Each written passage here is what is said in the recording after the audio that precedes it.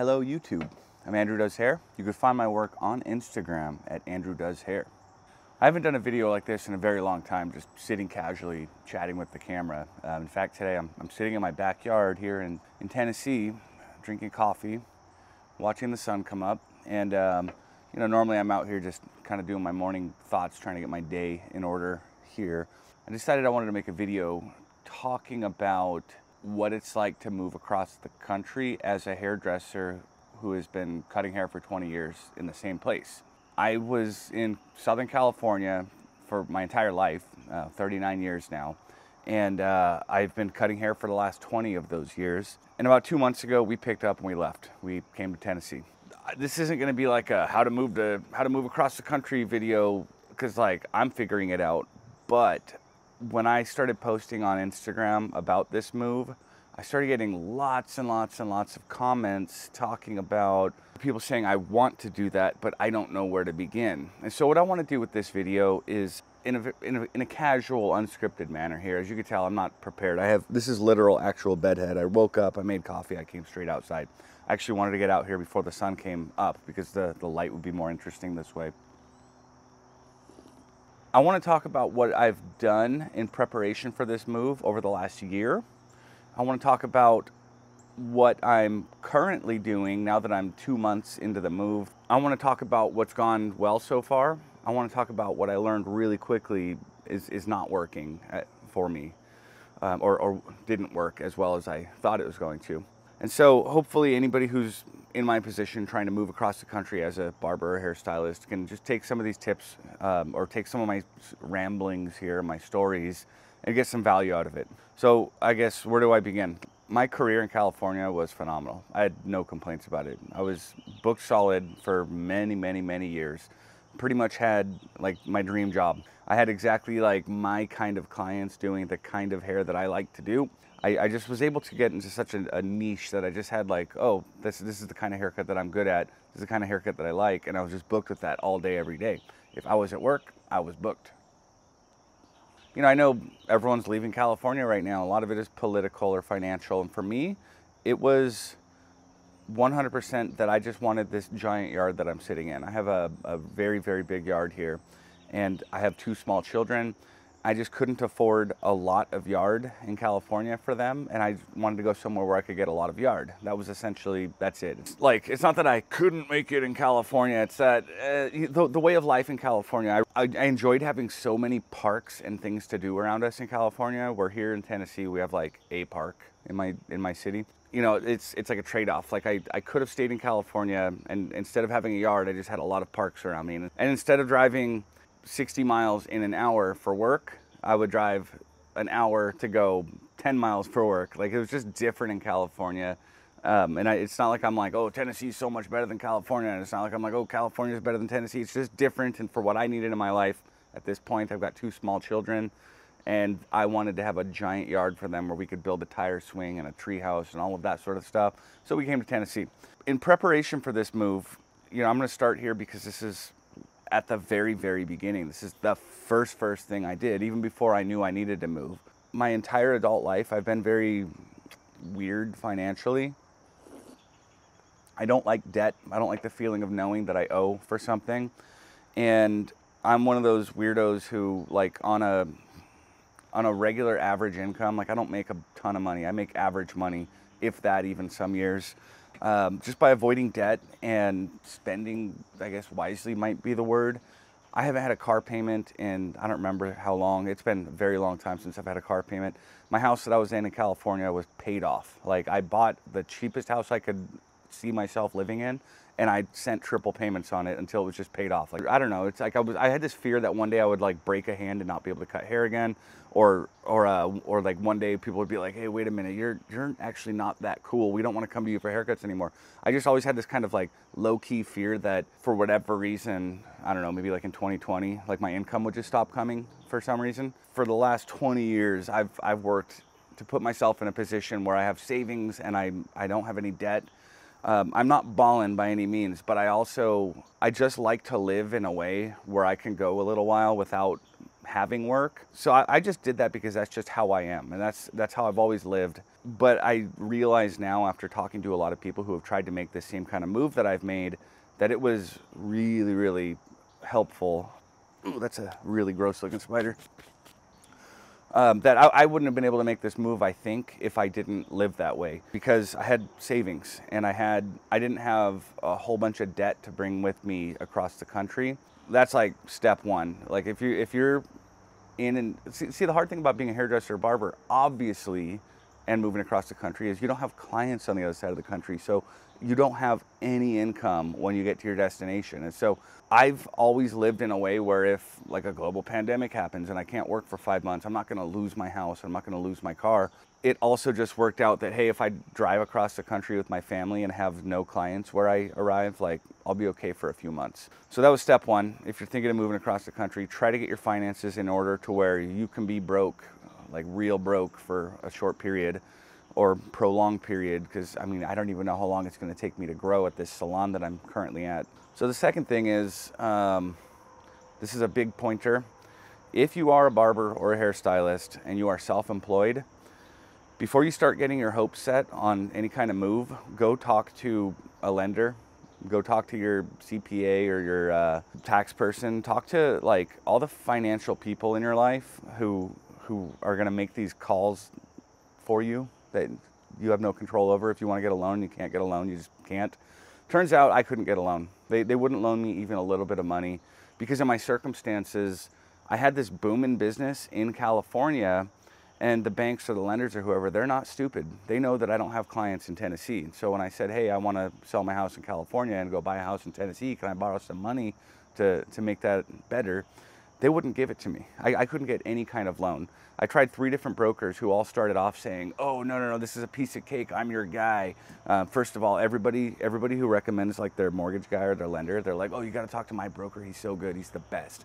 And then like you talk to them and you're like, "Oh, turns out everybody knows the best one." But anyways, I had three different brokers work with me and say, "No, we just we can't do anything for you." So my income in California, I'm like self-employed there and something I don't know the exact details, but something about being self-employed and trying to get a loan, they just don't like it. They're like, "Oh no, that income, even though I can show 20 years of tax returns saying that I make decent money, they don't like that income."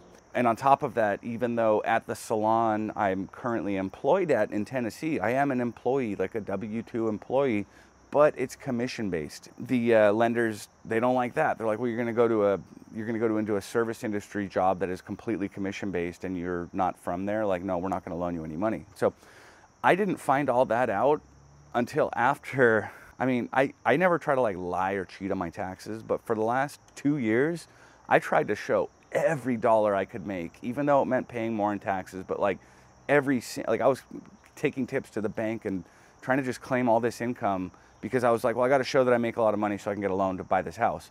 And then after all that, it turned out I couldn't get a loan anyways. And so I was like, all right, whatever. Um, so that's, you know, tip number two. Oftentimes hairdressers are not the breadwinner of the family. It's like, you know, husband's a firefighter or a, or a construction worker, foreman, or whatever job he has that's like a real job.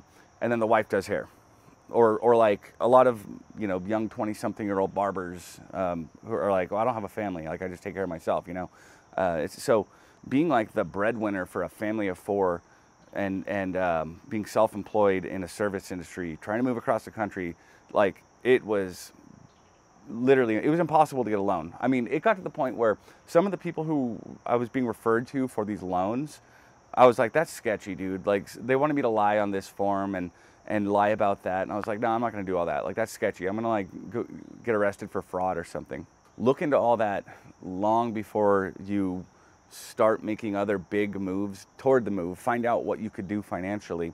Mo- moving forward, I'm rambling. I maybe need more coffee or maybe I've had too much coffee. Mm.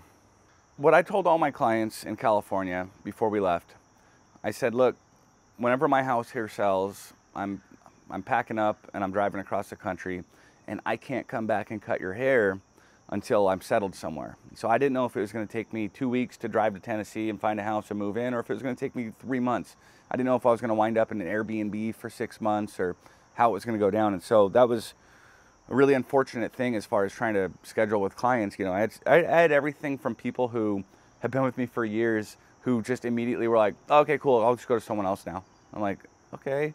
To people who were like, like blowing me up on my personal phone, just like, like when is the last minute you're in town? I need to get a haircut that minute. And, um, and I, I didn't have a very clear answer to give my clients. And so that's a hard thing about moving across the country as a hairdresser is like, I, I can't just say, oh, okay, on this date, I'm coming back because I didn't know, I didn't know where I was going to end up. I didn't know when I was going to end up there. And I didn't know when I was going to have my family situated in such a way that I could just get on a plane and go back to California for a week to do haircuts. And so like I just had to tell all my clients like like I think in the meantime go to this guy. He's he's great. In the meantime go to this girl. She's great. Um, and then I'll I will text you when I know. So that was that was something that I thought would be easier than it was was just texting my clients. So the manager of my at my salon in California was able to give me like a kind of like a master list of almost everybody that was in my chair like ever. And so I just had this PDF of hundreds of names and phone numbers. And so once I did have things settled here in Tennessee and I was ready to fly back to California, as soon as I opened up dates in California, I sat down on my phone with this list of, of names and phone numbers. I started copying and pasting this same message saying, Hey, it's Andrew. I'm going to be in town on these dates. Go book it on the salon website. This is a copy and pasted message. Do not reply. Just go book if you want a haircut. And so I started like copying that and pasting and sending it to every name down this list. And when I got about, I don't know, 90 or 100 names down the list, my brain started getting tired. I was like, you know, just fatigued from looking at the screen doing a repetitive task and task. And I thought, well, dude, I just sent this to like 100 people. Um, how many appointments do I even have available? Like I hadn't even done that math yet. Like in a week, it's not even a week, in four days in California, working 12 hours each day, how many haircuts can I actually do? And I'm like, not not that many actually it turns out. And so I, I, had 44 openings on my books because my, my first day started a little late due to the flight time and my last day ended a little early due to the flight time. So i had 44 appointments available. I had just texted 90 people about them. And then i went back to my list of clients and i was like dude there's like 250 more names on this. And then i felt horrible because i had all these clients who i love and and and really really wanted to cut and really wanted to work with who i just i didn't text because I started going down the list. I got through 90 names, and um, so I didn't do that math months ago when I should have. I did that math as I realized I'm not going to be able to fit in all my clients. And so, in retrospect, what I think I would have done probably is made a list first of like clients who energize me to work with, clients who are very dependable, like no, people who just don't no show or cancel, um, clients who like I, I hate to say it, but would appreciate my haircut more than the next guy. Like I got a lot of clients who are like, "Oh, dude, I really like the way you cut my hair," and I have a lot of clients who are like, "Dude, I haven't been to someone else in 15 years." And so, what I would have done in retrospect is made a list of like like top tier clients, and I would have reached out to them first. Um, so what I did after I texted the 90 people, and I had just a couple random openings here and there, it, instead of going back to the list, I just posted on Instagram. I said, Instagram, I'm going to be here on these dates. Go book it and within you know an hour it was completely booked. But as soon as it was fully booked then i took down that post as well because i didn't want to have people going to the website and being bummed that you know there was nothing available. But as soon as my trip was fully booked to go back home i had people just blowing me up like when are you coming back? Someone said you're coming back. Do you have time for me? And dude it freaking kills me to have to say yes i am coming back. I'm going to be there for four whole days but no i don't have time for you. So that sucks. I did not anticipate how crummy that would feel to have such a limited time to come back for clients. And like, man, I just picture, you know, in the Lord of the Rings movies when the, the giant monster, like during the battle scenes, the, the war scenes, he's got like a giant axe. He's just wiping people out left and right and they're just falling off. Um, like that's what I feel like I'm doing to my clientele in California is like, just people are just falling off like flies because I can't get them in. And, you know, there's always, even after all these years, like there's certain times where like on the rare occasion that I would just like completely mess up my schedule, double book people, or just like something bad would happen where I'm like, oh, dude, I screwed up. There's always that fear like this guy's not coming back. I feel that like repeatedly trying to schedule my trips coming back to California. So the original plan was to open up dates each month to where while I'm here in California on these dates, I'm going to open up the dates for the following month. And then when I come the following month, I'll open up dates for the next month after that. And so I just plan to open it one month at a time as I as time moved forward. But on like the first day, we ran into an issue where we found that that wasn't going to work very well. You see, I had a client on my first day who was like, "Oh yeah, you're going to be back next month." I was like, "Hey, you could pre-book it before you even leave the salon." And she goes, "I, I won't need a haircut next month. Like, how about November? Like, will you call me in November?" And I was like, "No, I'm, I'm not going to have the, I'm not going to remember who to call. Like, I wish I could." I was like, maybe just I don't know, check the website in October. Maybe I'll have November dates. And it occurred to me like that was going to happen. Like, because not every client gets a haircut once a month. Some clients want to come in. Most of my clients actually are once a quarter, maybe, or like once every other month. So I realized that it was going to be hugely beneficial to just open my books out as far as I possibly could. So as soon as I got home from that trip, I opened up my books through January. That I realized was so much better because now I've got appointments through January. People are booked. So now at this point, I have contacted all of my clients and said, yes, I'll be back. I'll be back all these dates through January. And the clients who were like, like every month, like clockwork, routine clients, they went and I could see on my booking app, it was all so and so booked, so and so booked. The same guy just booked like once a month until January. That is so much peace of mind for me while I have basically zero income here in Tennessee. I know that once a month I'm going to fly to California, make some money, and then come back home. On the flip side too, I have some appointments where it's like, okay, they got a haircut in um, September, and they have one in October, and then they have one in like December. Like so, they um, the clients who are every other month are now booked out every other month, and so highly recommend that. Um, if you are going to do the back and forth thing, do the math on how many clients you could take per visit and be realistic about how you'll be contacting them and who you'll be contacting if you know you can only take, if you're a colorist and you're like, dude, I can come back for a week and do like eight colors or something, you you're probably gonna have to hand pick those colors since you're only gonna have you know one week here and there every six weeks or eight weeks or whatever. So do or wh- however however you work out the return visits, like do that math way in advance. I did that math way too late. Like I did like I screwed up the math so much, dude. Like when I would fly between LA and Nashville, flights were like two to three hundred bucks round trip with no stops. And then I just thought, you know, there's a closer airport to my salon in California, and I thought, well, when I'm actually doing these trips, I'll just fly into that airport. It's probably a couple bucks more. Dude, it's like 800 bucks to fly into John Wayne or Long Beach, and so that's a shorter drive to the salon from the airport. But I'm going to spend like four times as much on my flight to do that. But I didn't do any of that math until after the wheels hit the road and I was making these moves, and I was like, dude, I should have planned this way better. So do all the math on all the things before you make any moves at all. Like don't just assume you're going to fit in like your clients are going to figure out who wants to fit in or you're going to just put it out there and it's going to book. It, it, was a big a big stressful cluster fudge for me. And I think I think it's playing out pretty well now. I'm going back to California in like 2 more weeks and that trip is fully booked. Um, hopefully there's no more hiccups, but it was not what I expected. I thought it was going to be so smooth and so easy. And I even have like like the world's greatest reception staff at my salon. Like they're so on top of everything. And even with that, like there's just been a little bit of headaches, a little bit of hiccups, a little bit of frustration, a little bit of um, difficulties, and not not even frustration. I'm not like mad. I'm I feel sad and bad that I can't just take all my clients on every trip. So now, as far as building in Tennessee, getting new clients, I guess it's worth noting that I'm in a position because of everything I talked about in this long winded rant. I'm in a position where, as long as I can go back to California once a month, I can make enough money that I don't need to have clients here in Tennessee. In the long term, I need to have clients here because I can't be flying to California once a month for 10 years. I don't have pressure to get clients tomorrow. I have essentially all the time in the world to get the right kind of clients for me. I'm gonna move so the sun's out of my face. Although it feels real nice to wake up for waking up. was that Andrew Huberman talks about waking up and looking at morning sunlight? I'm all about that. Anyways, yeah, so I guess this would be like the main point, the big takeaway for this video is in addition to like, oh, how are you gonna get new clients when when you move to your new area? It's that's not even the biggest problem. You will get new clients sooner or later, and I expect to get new clients sooner or later. I don't think it's gonna happen overnight. Um, but the whole point of this is I put myself in a position where I don't have to get clients immediately. I can take my time to let the clientele grow in a way that I can kind of sculpt it to continue doing the kind of hair that I enjoy.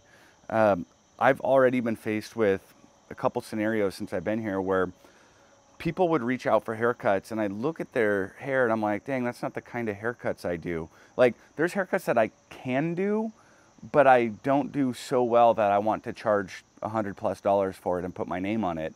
Like, there's haircuts that I would do for a friend or on a mannequin, but I wouldn't want to do for a paying client. And since I've been here, I've had requests for those haircuts, and I've had these moments where I'm like, dude, if you take this haircut, you will grow faster, you will get more clients. But it's not the kind of client you want, it's not the kind of haircut you do. And so I think if I put myself in a position where I wasn't able to do these California trips, where I where I had a big scary mortgage to to make, um, where I was, you know, I, where I had all kinds of debt and no savings, in that position, I would have to take the haircut I didn't want to do. And I believe that if you're doing haircuts that you're not good at, you're not going to grow. Like, I, I, I think personally, if if you're trying to get every client you can get in the chair, and even if it's a haircut you're not good at, even if it's a haircut you're not comfortable with, you're like, I don't care, I just need to get as many clients as I can get. I think that could be part of the reason you're not growing. And I think if I did that, it would prevent me from growing. And even even aside from like I wouldn't enjoy my job if I was doing haircuts that I don't like to do.